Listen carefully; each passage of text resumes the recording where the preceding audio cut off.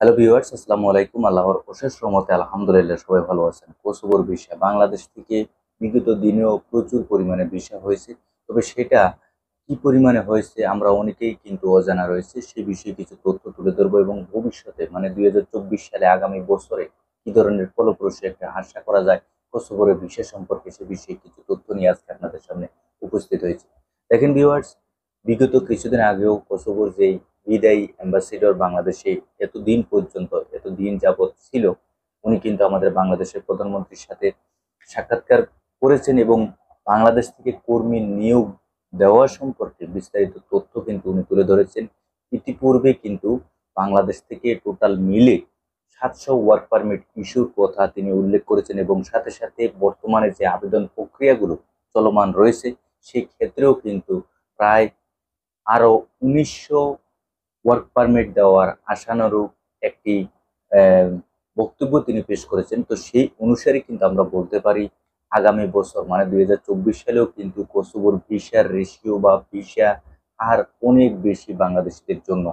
আমরা যদি এই শ্রমবাজারটা ধরে রাখতে পারি Kosovo Romania Bulgaria Albania Serbia Moldova Bosnia এই সমস্ত দেশ কিন্তু নন যে সমস্ত দেশ রয়েছে পাশাপাশি অবস্থিত হওয়ার কারণে বাংলাদেশিদের ক্ষেত্রে আসলে কিন্তু এই দেশটি যেহেতু এম্বাসি আমাদের বাংলাদেশে রয়েছে, আমরা যদি সুন্দরভাবে, সঠিকভাবে কাগজপত্র বা ডকুমেন্টসগুলো প্রসেসিং করে আমরা ওইভাবে জমা দিই, তাহলে খুব শীঘ্রই কিন্তু মানে আগামী বছরের জানুয়ারি থেকে যখন এম্বাসির কার্যক্রম চালু হবে, কাজের ভিসার ক্ষেত্রে তখন কিন্তু আমরা খুব সুন্দরভাবে এই কসোভোর উদ্দেশ্যে যেতে পারব বাংলাদেশ থেকে।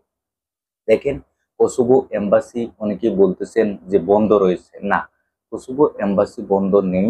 কসোভো এম্বাসির যেই ভিসা কার্যক্রম পরিচালনা করার জন্য আরও দ্রুততার সাথে, যেন তারা ওইভাবে দ্রুততার সাথে কার্যক্রম পরিচালনা করতে পারে, সেই অনুসারে কিন্তু তারা কিছুদিন যাবৎ কসোভোর এম্বাসির যে কাজের ভিসার ক্ষেত্রে যেই প্রসেসিং প্রক্রিয়াটা, সেটা কিন্তু ওনারা বন্ধ রেখেছে। কিন্তু জানুয়ারি দশ তারিখের পরবর্তী পর্যায়ে কিন্তু আবার ফুললি মানে পুরো দমে কিন্তু তারা তাদের কার্যক্রম, এম্বাসির নোটিশ অনুযায়ী এটাই বলা যায় যে পুরো দমে আবার চালু হবে দুই হাজার চব্বিশ সালের জানুয়ারির দশ তারিখের পর থেকে।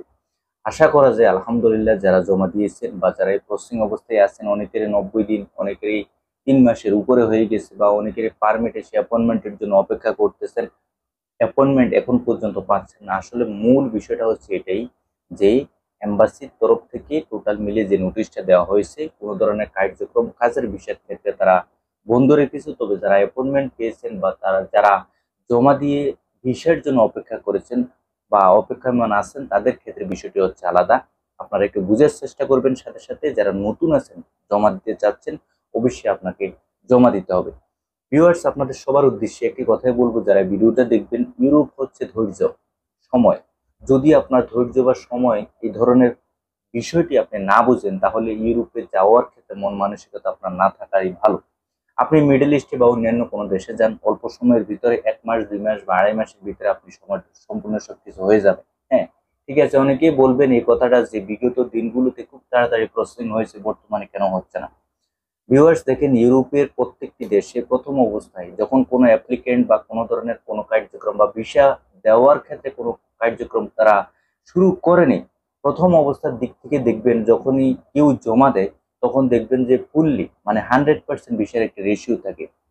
পরবর্তী পর্যায়ে ছয় মাস, এক বছর বা তারও বেশি সময় যাবত যখন একটি দেশের এই কার্যক্রমটি কাজের ভিসার ক্ষেত্রে প্রচুর পরিমাণে অ্যাপ্লিকেন্ট তাদের দেশে যাওয়ার জন্য উঠে পড়ে লেগে যায় তখন কিন্তু তাদের ভিসার রেশিও বা এম্বাসির তরফ থেকে বা ওই দেশের ইমিগ্রেশনের তরফ থেকে বিভিন্ন ধরনের রিকোয়ারমেন্টসগুলো দিয়ে দেয়।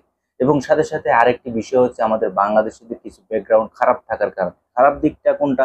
সেখানে গিয়ে আমরা থাকছি না, সেখানে গিয়ে কোম্পানির কাছে না গিয়ে আমরা অন্যত্র চলে যাচ্ছি। এই সমস্ত বিষয় কিন্তু ছোট ছোট ক্ষুদ্র ক্ষুদ্র ইস্যুগুলো কিন্তু বিশাল আকারে দীর্ঘদিন যাব যখন একের পর এক ক্রমান্বয়ে ঘুরতে থাকে, তখন কিন্তু এক পর্যায়ে এসে কিন্তু যে কোনো একটি ইস্যু নিয়ে তারা কিন্তু বিশাল বড় একটি ডিসিশন তারা নিয়ে নেয়। তো সেই অনুসারে আমরা অবশ্যই চেষ্টা করব প্রথম অবস্থা থেকে শেষ পর্যন্ত যদি প্রত্যেকটি দেশে আমাদের ভালো একটি গুডিল থাকে, তাহলে কিন্তু আমরা ভবিষ্যতে আমরা যে কোনো দেশের উদ্দেশ্যে খুব সুন্দরভাবে সেখানে পৌঁছতে পারব। মূলত কথা হচ্ছে, দেখেন কসুবো নিয়ে আমরা এই ভিডিওর মধ্যে কথা বলছি। কসুবো নিয়েও যদি আমরা কথা বলে দেখবেন কসুবোতে গিয়েও কিন্তু প্রায় অধিকাংশ লোকজনই কিন্তু সেখানে থাকছে না। কসুবোতে একটি ভালো সুযোগ সুবিধা হচ্ছে সেখানে থাকা এবং খাওয়া কিন্তু কোম্পানি দিয়ে থাকে।